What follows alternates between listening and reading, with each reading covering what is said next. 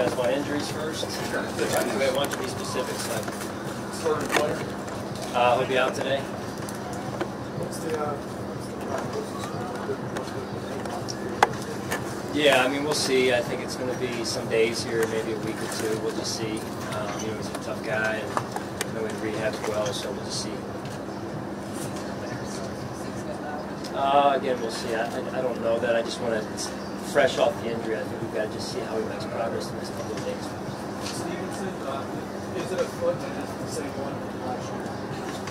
Uh, it is a foot. Uh, I couldn't tell you exactly if it's the same one from last year. I didn't keep up on that, honestly. So, so pick one, right? Uh, but it's unfortunate. He was having a good camp, um, so we'll see where we go. Uh, no, uh, it's going to be more than it's more, more weeks at this point. So we'll. How about your offensive line action?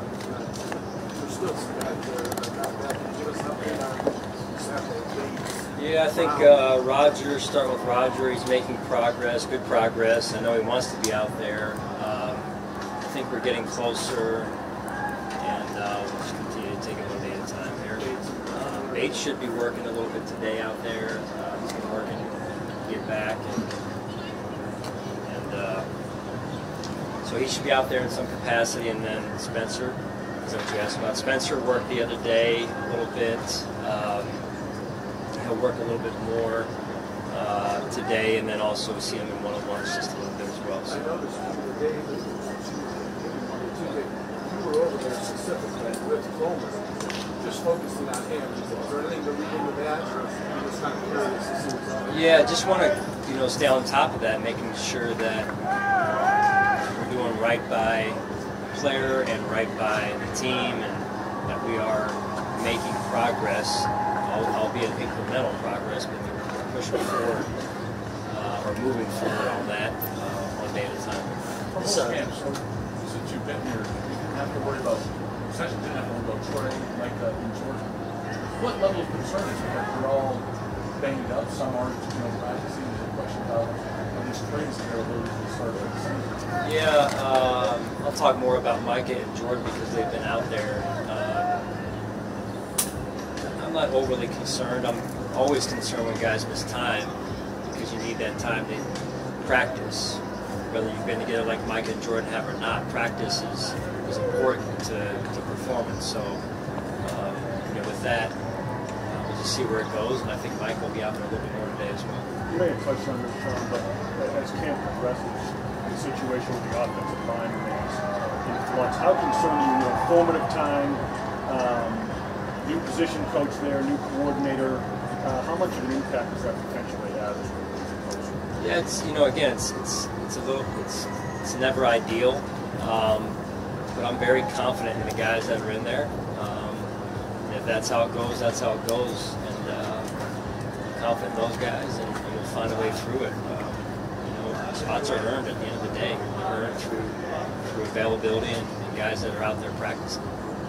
He was Redman's uh, vet day the other day, or was he? He was banged up. He's he's also working through um, some soreness right now, so maybe out there a little bit today, uh, but he'll be limited if he is. Sean, I'm I'm Benford. Um, noticed the last couple of days, he's a six-round pick, and he's getting reps against Stefon Diggs and Gabe Davis, which seems unusual a little bit. Can you maybe talk to where that kid is in his progression and why is he getting some kind of key reps now? Yeah, he's had a good start to, to camp. Um, you know, he's played a couple different positions right now, and um, you know, he seems to be have a good way about him. His disposition, uh, on the field, off the field, uh, his football IQ. Uh, he's got a combination of size and some ability to move there as well. So. Um, again, we're going to take it one day at a time, not get too far ahead of ourselves, but we wanted to give him some, some run with the ones and, and see how we fare.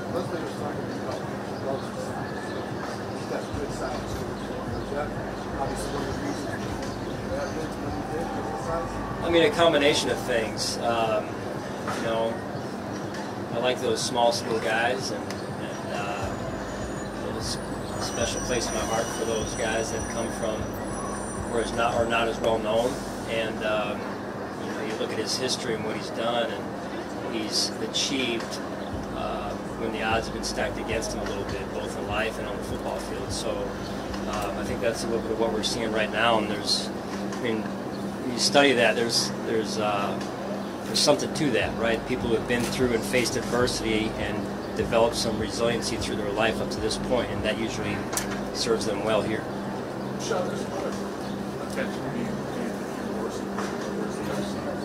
How much do you think the experiences and the pressures that you faced in Miami, and also helping mentor Newton and just help him prepare for a situation like this where a lot of eyes are on you? Yeah, I mean, in a similar way to Christian, like we just talked about, uh, you look at his his resume, his life history, his body of work to this point. I think all of that um, feeds into who he's become now. And, uh, it's no different than anyone. The older you get, the more experiences you have, the more wisdom you, you build up, and um, become better each each and every day. So uh, I think all of that, you know, as a player playing at, at the U, um, and what he was able to do there on that team, on the teams he had, and and uh, and then his playing time in the NFL, uh, and then now what he's done through his coaching career, I think all that serves him well. Tomorrow's practice at the stadium is a giant crowd, and uh, it, I mean, it's pretty much going to look like a training camp practice. It's not a full-blown. Uh, it'll we'll be we'll be playing the game more, I would say, uh, Mark, if that makes sense. To just playing the game, less scripted periods, uh, more just call it, play the game. Um, whether or not we go live remains to be seen, but kind of depends on maybe a little bit the health of the team as well.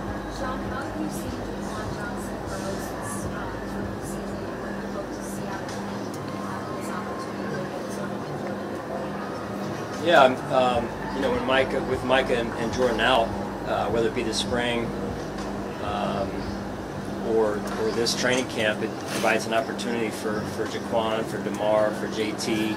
We've, we've rolled uh, another player two back there as well, so it's it's an opportunity for another player to step in, get quality reps, gain experience, and for us to evaluate uh, what we have there on the roster.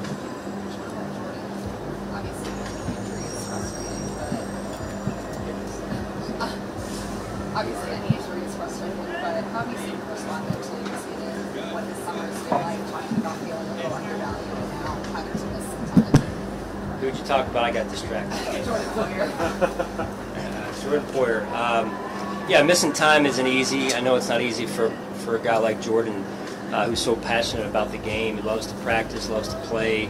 He's one of our leaders. Um, you know, he was here most of the time yesterday getting treatment, and then again early this morning. So he's working through it, and um, again, I think guys see that. They see how hard he works and everything. So, did I answer your question? Sean, will Tim Settle be back on the field today? Uh, a little bit as well. Yeah, Tim will be out there. Uh, Jake will be out there. Kumerow as well, and I mentioned Ryan. So uh, we'll get some. We're getting some guys back at least in some capacity this morning.